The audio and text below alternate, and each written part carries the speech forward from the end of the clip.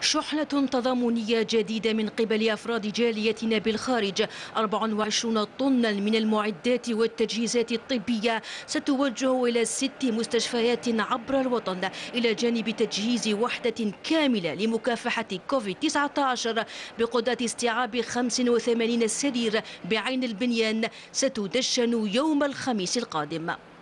قدرنا في ظرف وجيز جدا أنها تكون جاهزة وراح نشوفوا معنا إن شاء الله يوم الخميس هذه الوحدة اللي راح تكون راح نعتبرها وحدة المجتمع المدني تثمين لدور المجتمع المدني طيلة هذا الوباء في مكافحة الوباء. هذه الوحدة آه، هي وحدة طبية في مقر السلطة الوطنية المستقلة آه، الجديد آه، وبمبادرة من المجتمع المدني المهيكل داخل السلطة لأن هذه المؤسسات اللي راهي بتقوم بهذه العملية هذه هم ممثلين السلطة الوطنية المستقلة في الخارج.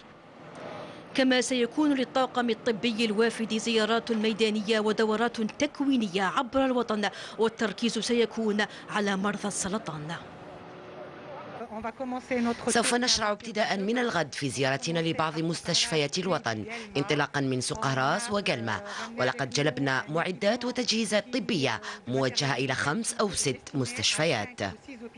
ونحن كمجتمع المدني ساهمنا بجزء بسيط ما قدمته مؤسسات الدولة وما قدمته آه، الجمعيات الناشطة آه، في هذا آه، المجال وهو دليل على خلق جسور محبة بين أفراد الجالية وأفراد الوطن. هو استمرار للعمليات التضامنية ومد الجسور بين أفراد الوطن والجالية بالخارج.